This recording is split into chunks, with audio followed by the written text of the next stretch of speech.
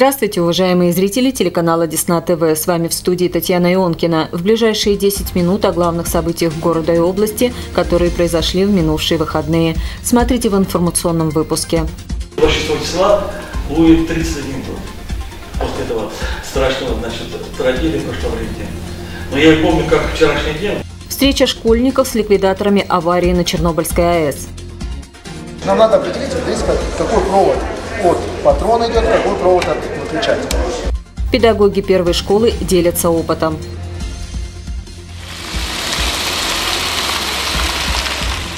Сводка криминальной обстановки в городе. Конечно, Кубок Надежды держать в руках очень приятно. Итоги волейбольного турнира Кубок Надежды. А теперь об этих и других событиях подробнее. В преддверии Дня памяти о погибших в радиационных авариях и катастрофах в историко-краеведческом музее Десногорска школьники города встретились с ликвидаторами одной из крупнейших радиационных катастроф на Чернобыльской атомной электростанции. С учащимися 11 классов встретились Тольят Мамедов и Виталий Карпинский. Началось мероприятие с просмотра фильма о самой катастрофе и ее ужасных последствиях, которые отголоском из далекого прошлого периодически проявляются и в наше время. Продолжилась встреча рассказами о своем личном вкладе в ликвидацию последствий. Все оборудование снимали, несли в могильники, а ставили новое оборудование. Между школьниками и гостями завязалась беседа. Ребят интересовало буквально все. И как справлялись со страхом, и в каких условиях жили и работали ликвидаторы. Воодушевление и интерес читался в глазах детей. Люди, которые присутствовали и рассказывали о этой трагедии, э, для меня как бы очень мужественные люди, то есть герои. Больше как бы переживается за людей, которые там находились в момент трагедии. Вот. Э, также шокирует количество людей, которые это все устраняли. То есть э, рисковали жизнью. Подобные встречи не дадут современной молодежи забыть о героическом подвиге ликвидаторов, и память о них будет жить вечно.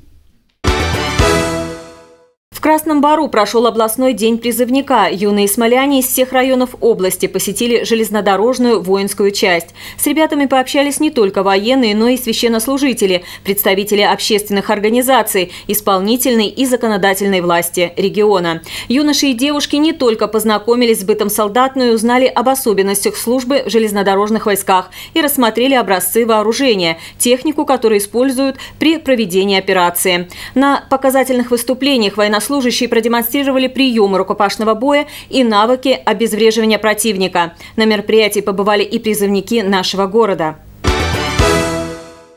Культурно-выставочном центре имени Тенишевых прошел ежегодный весенний бал. Мероприятие, которое проводится Смоленским филиалом МЭИ с 2013 года, стало одной из визитных карточек вуза.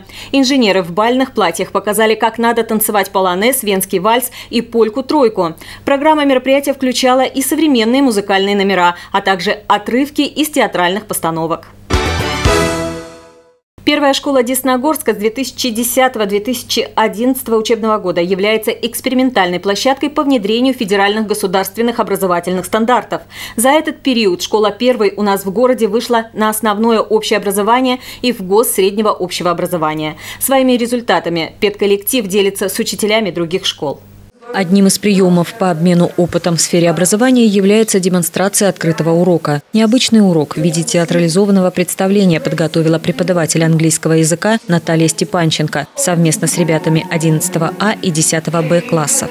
Наталья Николаевна тоже здесь пилотный педагог показывает, как мы это делаем и будем реализовывать уже подготовленные, имея хорошую базу и кадровый потенциал, и материально-технический, информационный потенциал для реализации среднего общего образования в ГУС. Все представление, которое ребята показали, было проведено полностью на английском языке. За основу взято произведение Уильяма Шекспира «Ромео и Джульетта». Костюмы, режиссура и драматургия – все это продумано и разработано самими ребятами. Поскольку мы прочитали в оригинале многие главы произведения Шекспира, посмотрели фильм, нас это заинтересовало, мы были настроены на деятельность, и мы как занимались театрализованной деятельностью, так и ну, практически сами без помощи учителя построили урок. Конечно, э, много нам, ну, Наталья Николаевна предложила нам э, ну, заняться Шекспиром, посмотреть фильм, прочитать книги, и это нас вдохновило на создание, вот, если так можно сказать, этого проекта. Федеральные государственные образовательные стандарты улучшают образование. Дети становятся более мотивированными, социально адаптированными и коммуникабельными, что позволяет им в дальнейшем свободно заниматься проектированием и самостоятельно определиться в дальнейшем с выбором профессии. В этом ребятам помогают также и мастер-классы. С начала апреля в рамках реализации в во всех школах Десногорска специалистами и студентами Десногорского энергетического колледжа были проведены мастер-классы по направлениям, по которым ведет обучение колледж. И это тоже помогает определиться детям со своим будущим. Электронные паспорта транспортных средств начнут выдавать уже летом текущего года. Услуга не будет являться обязательной, можно продолжать пользоваться бумажной версией паспорта, вплоть до конца срока жизни автомобиля. На новые машины будут оформляться уже электронные. Этот механизм будет запущен во всех странах Таможенного союза, что даст возможность создать публичную электронную цифровую историю автомобиля. А сейчас криминальные новости. Дальнобойщик Смоленской области по вине коллеги остался без миллиона. Водитель перевозил денежные средства фирмы. Другой, зная об этом, вместе со своим знакомым, проживающим в городе Ярцево, похитил их. Оба были задержаны полицией. За кражу подельщикам теперь грозит максимальное наказание в виде лишения свободы на срок до 6 лет. Сотрудниками ГИБДД задержан москвич, подозреваемый в преступных манипуляциях с платежными терминалами. Он в домашних условиях превращал в купюры различного номинала обычную резаную бумагу. Вместо защитной нити он использовал обыкновенную фольгу. С помощью этих подделок житель Москвы пытался пополнить счет своего мобильного телефона в смоленских платежных терминалах. В ходе проведенного обыска в его личных вещах стражи порядка обнаружили и изъяли более 100 бумажных обрезков с изображением билетов Банка России. О том, что произошло у нас в городе за минувшую неделю, нам расскажет майор полиции Романова. За прошедшую неделю в дежурную часть поступило 106 сообщений о происшествиях. Из них два сообщения о преступлении. Зарегистрировано 6 дорожно-транспортных происшествий с техническими повреждениями. Выявлено 125 административных правонарушений, в том числе 103 нарушения правил дорожного движения. За управление транспортным средством в состоянии алкогольного опьянения к ответственности привлечены два человека. За распитие спиртных напитков, а также появление в состоянии алкогольного опьянения к административной ответственности привлечены 15 15 человек.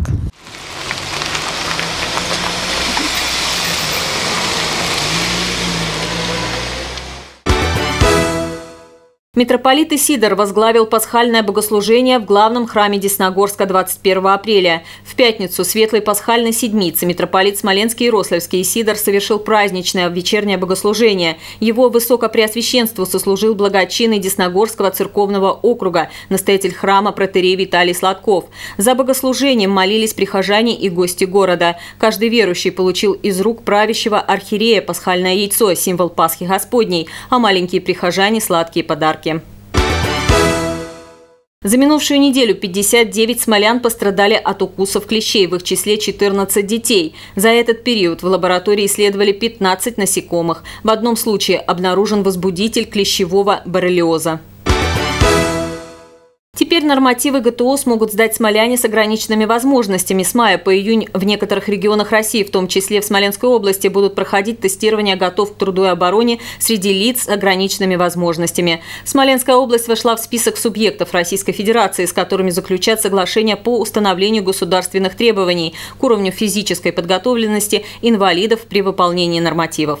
В этот список вошли еще 13 регионов страны. Минувшую неделю в спортивном зале четвертой школы проходили игры по волейболу «Кубок надежды» среди учащейся молодежи. Кто стал победителем, расскажем в нашем следующем сюжете. В турнире приняли участие команды юношей и девушек со всех школ города и Десногорского энергетического колледжа. У девушек не было равных спортсменкам из четвертой школы. Они с 12 очками стали победителями. 10 очков и заслуженное второе место у команды второй школы. На третьем месте девушки из первой школы. Здорово поучаствовать в таком мероприятии. Вот, игры очень интересные, то есть мы набираемся опыта и, конечно, приятно выигрывать. У юношей также развернулась упорная борьба. Третье место у команды средней школы номер 4. Второе у команды первой школы. А переходящий кубок завоевали юноши энергетического колледжа. Соперники были очень сильные, мы старались, мы бились и боролись. В результате мы стали первыми. Ура! Ура! Лучшие игроки были отмечены специальными призами в различных номинациях. А учителям физической культуры, чьи команды заняли первые места, представитель фирмы «Атомтехэнерго» вручил памятные подарки. Организаторы турнира отмечают индивидуальное мастерство волейболистов и благодарят руководство четвертой школы за помощь в проведении игр. Это все, о чем мы хотели рассказать вам сегодня. С этими и другими новостями вы можете ознакомиться на сайте нашего телеканала disnadefistv.ru. Также мы ждем ваших предложений и актуальных тем для новостей. Спасибо за внимание. До свидания.